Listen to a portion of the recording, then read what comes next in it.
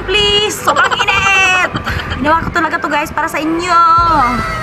Para matest talaga no kung effective ba talaga siya as a sun protector. So ano ba talaga? So well protected ba talaga siya ang skin? Ano ba talaga no? Pareho ba talaga siya sa mga lotion na may SPF 30 PA++ until 50? So for me honestly,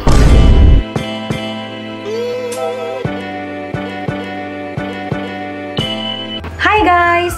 Welcome back sa aking video. And now, pag-uusapan natin itong Vitamin E Sun Protect Q10 Plus. So sabi ng iba guys, maganda talaga daw ito for protection. Lalo na kapag nagbibilad tayo ng araw for a long time or for a long exposure, di ba? Pero itatry natin kung totoo ba talaga yan. So before ko guys, mapakita yung pag-wear test ko nito for one day, ibibigay ko naman yung other basic things na gusto naman nating malaman usually kapag bumibili tayo ng mga ganitong products. So for whitening, nagpapa-whiten ba siya agad ng skin or may instant effect? So hindi guys, wala siyang ganyan na effect, wala siyang white cast. Pero pag nilagay na natin, may medyo glowing effect siya at soft ang ating skin. May dewy effect ba siya? No, wala siyang dewy effect. Greasy ba? So, wala din guys. Dito sa front pa lang yan, sinasabi niya na non-greasy. So, it's actually non-greasy and it's true. Yung kiniklaim niya na non-greasy siya, totoo talaga. Mabilis ba mag-absorb? Yes, mabilis lang mag-absorb sa ating skin. Madali lang siya mag-dry guys. At hindi siya sticky. So, yung softness naman guys, soft ba? Yes, yung sabi ko nga na soft siya. So, for consistency, malabnaw ba siya? Hindi. At saka para siyang conditioner. Yung texture niya guys, para siyang conditioner sa ating hair. So, ganito siya guys. Hindi siya tumatapon. Kahit gawin natin ganito.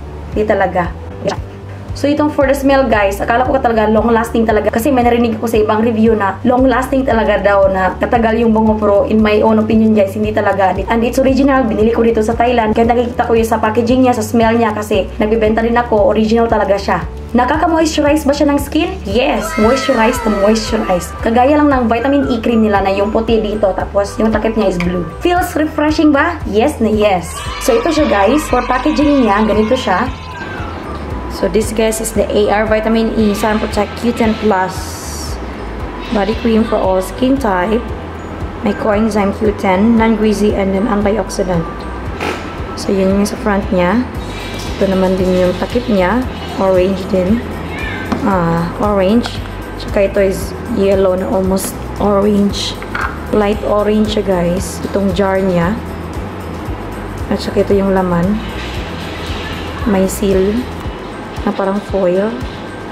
Tsaka yan, yung cream niya. Tsaka ito sa gilid guys, product of Thailand. And then ito, nakalagay dito, AR Vitamin E Sun Protect Q10 Plus Body Cream. So, made in Thailand, manufactured 2020, and then expiration date is 2023 na year. And then dito, 200 ml, at saka dito yung naka-indicate yung mga ingredients niya. And then, ito yung sa gilid. Okay? And then, ito na yung next. So, ito siya, guys. So, yan lang. Takip niya. Alright?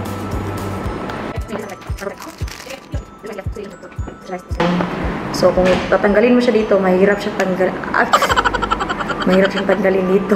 So, you need to open here. Butasan mo na lang. Tigas. Ah. Tigas talaga siya. Ah. So, yan siya. Yan. Yan siya.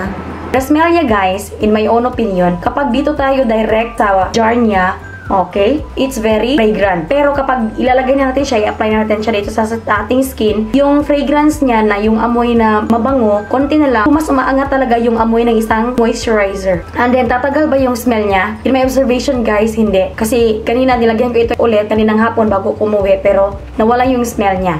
Ay, ang dami. Silalagay ko siya dito sa left arm ko, kasi dito sa right arm ko, nilagyan ko siya ng Nivea na may SPF 30 PA+++. Ang dami, nilagay ko na lang sa legs. okay, for first impressions, very soft and then nag-glowing agad compared dito sa kabila. Di ba, tingnan nyo? Okay. Patitingnan natin mamaya after ilang oras ng wear test. Hi everyone! So ngayon, itatry ko na na magpainit para makita natin kung iitim ba talaga itong may vitamin E sun protect then dito sa kamay ko na may SPF talaga na 30 from Nivea. So let's try.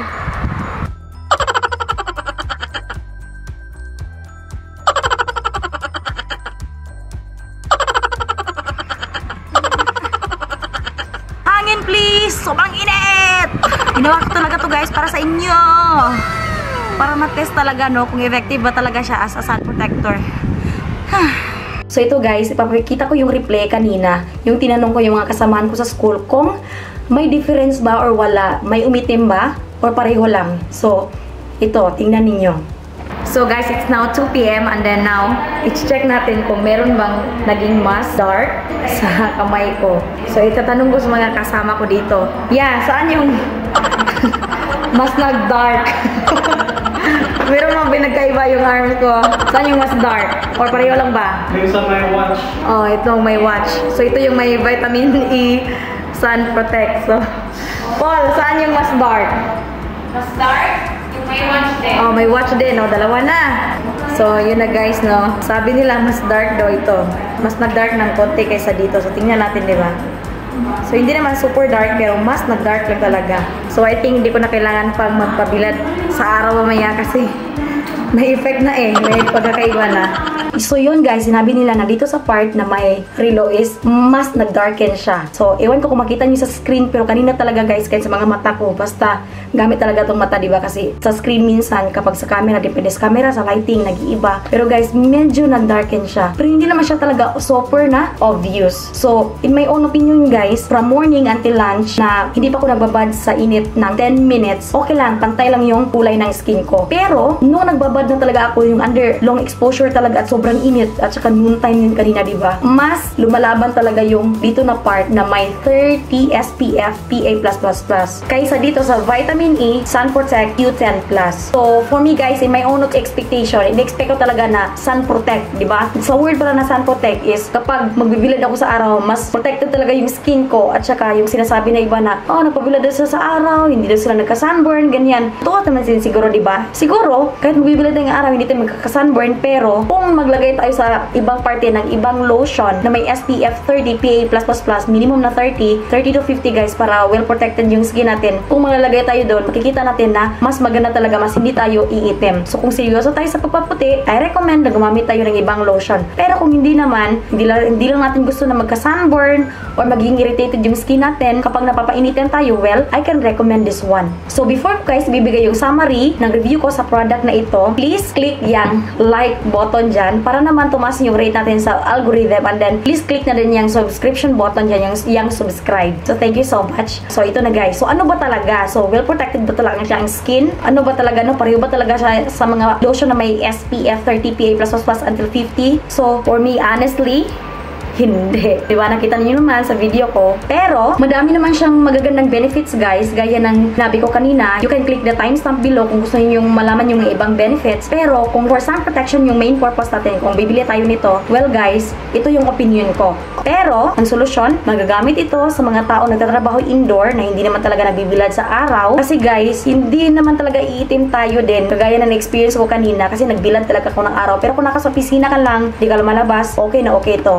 So, hindi siya for long exposure, pero okay na okay siya kapag hindi lang talaga tayo nagbibilad ng sobra or nasa indoor na work lang tayo. So, dapat din tayong gumamit ng mga lotions or creams na may SPF or sun protection kahit hindi tayo lumalabas guys para well protected and then parang din hindi tayo madaling umitim dahil gumagamit tayo ng mga pampaputing products. Pero kung tao ka talaga na, na gustong gumala sa labas or always lumalabas dahil sa trabaho nila, I recommend na gumamit kayo ng ibang lotion na may SPF 30 PA+++ or 50. So, 30 to 50 na SPF. And then guys, if you wanted to find a lotion na may whitening effect na hindi kayo magsisisi and then mataas yung SPF niya, I will write it down in the comment section. Please check. Nandyan yung link ng video ko sa lotion na yan. So, for the price of this guys, I think it's the same lang sa price ng vitamin E between 200 to 300 pesos depende sa sellers. Yung iba sinasabi na may lower 100, siguro pwede din kung reseller sila or depende sa suppliers nila. Pero sa usually talaga guys, kung retail, hindi talaga siya abot ng sobrang mura talaga. Baka ma-fake na kayo niyan. So, please find a supplier na totoo yung binibilhan nila yung napanatag na kayo sa kanila. Or you can also contact me if you want to have a business in the Philippines. I can send you products but a minimum of 15 kilograms before ko masasend sa inyo directly. And then wait lang kayo sa cargo guys kasi one month siya minimum bago siya dumating. So, yan lang guys. I hope that this video can help you. Sana na-solve yung lahat ng questions nyo about nito. Dahil guys, tinry ko talaga na ma-answer yon in my own way na kung ano talaga yung in-expect ko din sa product na ito. I hope to see you again in my next video. Bye bye guys! Thank you! Have a great day!